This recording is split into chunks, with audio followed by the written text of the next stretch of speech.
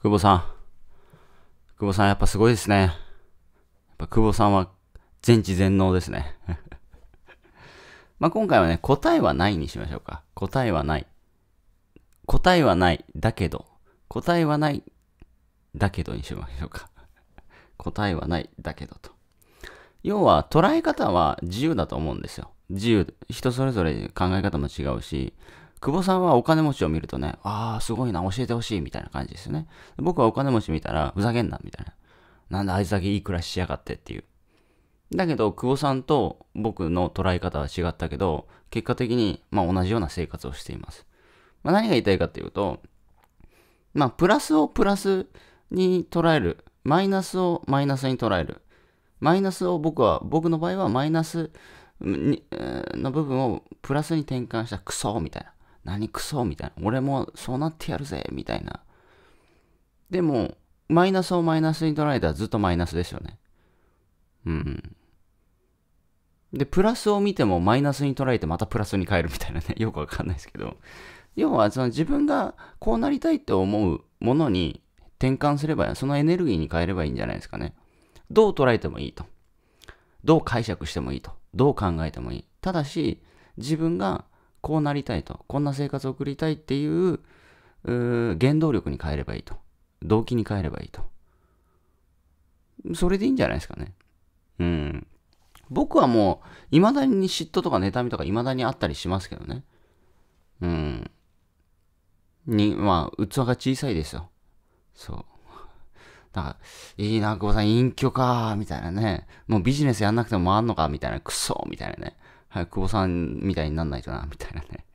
まあでも30代は僕は決めてるので、まあしっかり商品売っていこうっていうとこはやりますけど、もう40から本当に、だから僕も常にやっぱ考えてるわけですよ。なんでその、40歳からステージをちょっと変えようと思ってるのかっていうと、それは70、80になってね、毎月ガンガンセールスなんかできないですよ。できる、できるかわかんないですけど、ジャパネット高田のね、社長さんも多分60何歩で引退したと思うんですけど、やっぱ70、80だよね。おしゃーみたいなね、きついですよ。だそれを見越してね、今のうちに準備しとかないといけないなってことですよ。うん。なんでまあ、あのー、そんな感じですね、僕の場合は。もう40からはもう運用していく、投資しっかりなんかお金を使ってお金を増やす、お金を稼ぐっていうね。今まで自分の商品を作って売ってたけど、じゃなくて今度お金っていうものを使ってお金を稼ぎに行くっていうのをね、しっかり勉強しないといけないなっていうとこで、まあすごくやっていきますけど。うん。だからまあ、なんだろうな。うん、あなたが、あの、あなたが、うん、あなたはどんな人生を送りたいですかが答えなんじゃないですかね。あなたはどんな人生を送りたいですかと。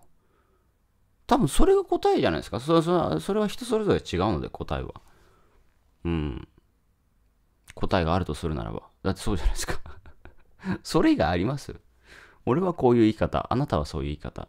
僕はこういう言い方。私はこういう言い方。いいじゃないですか。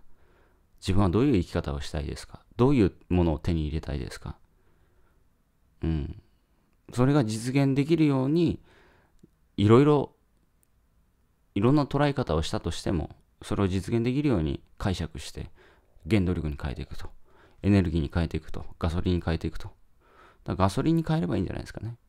ガソリンないとやっぱ走らないですから。キットもガソリンないとね、走んないんですよ。うん、僕の GTR もガソリンないとね、走らないんですよ。ガソリンあってもね、ぶっ壊れたら走らないし。一回その、滋賀、滋賀、滋賀県か。滋賀県の交差点でね、エンジンがふーんみたいなね、ガソリンあるんですよ。ふーんみたいな。マジか？みたいな。もう全然かかんないですよね。びっくりしましたね。で、ちょうど目の前にパチ屋があったんで、こうパチ屋にこう押してね、押してこう、まあ、レッカー読んでこう、まず押してみたいなやって、やりましたけど、いや、あの時ね、思いましたよ。速い車も動かなかったら鉄くずだな、みたいな。速い車も動かなくなったら鉄くずだなと思いましたよね。